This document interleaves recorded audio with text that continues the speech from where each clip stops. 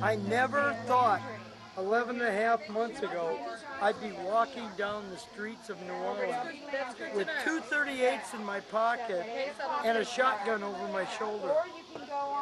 It was great. It was like pheasant season in South Dakota.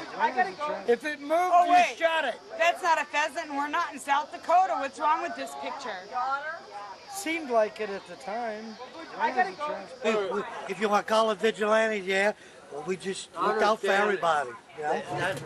we did.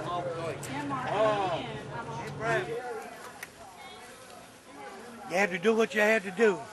You know, if you had to shoot somebody, you had to shoot somebody. No, we had That's simple. we had uh, looters. We shot them. They were looters. Go. Don't go into You a white woman's home and tell her you're going to take it over. No. No. No, you don't do that. We don't allow that around these parts. No, What happens in other parts of this state, I don't know about. But over We don't here, care about. this But is in this our neighborhood, we take care of our own. You know what? Algiers Point is not a pussy community. They're riding down the street, you loot, we shoot. I was down the street, and they said, where you from? Where you at? Turn around, turn around. I said, hold on. I live right here, in the next block. Turn around, turn around.